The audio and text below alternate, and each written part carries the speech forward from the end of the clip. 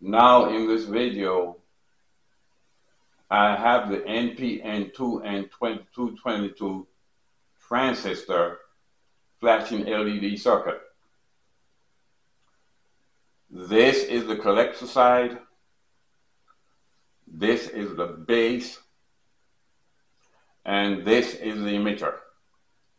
Now on the collector side, I have a 5 millimeter 2 volt red LED, a 5 millimeter 3 volt green LED, and a 5 millimeter 3 volt blue LED in series with a 15 ohm resistor.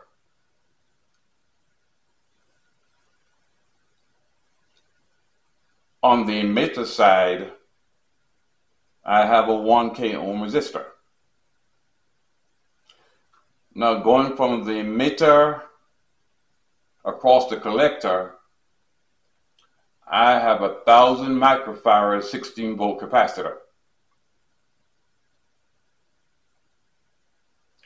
And across the entire transistor, I have a 12 volt DC supply. Now, how does this circuit work?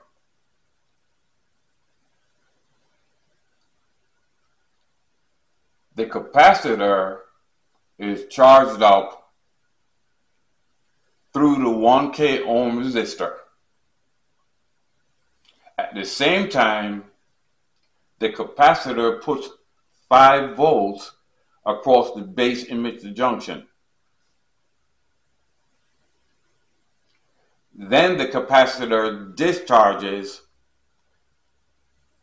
and it goes through the LEDs and a 15 ohm resistor. That process of charge and discharge is continued, and that is what makes the LEDs blink.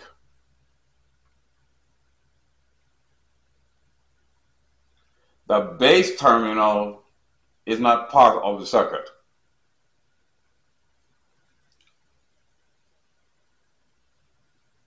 That 16 volts here is the maximum voltage of the capacitor.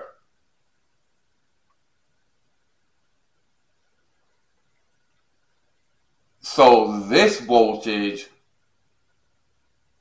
should not exceed 16 volts.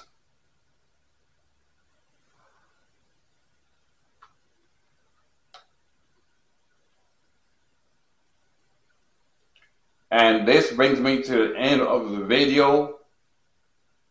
Like, share, subscribe. Subscribe, like, share. Thanks for your attention.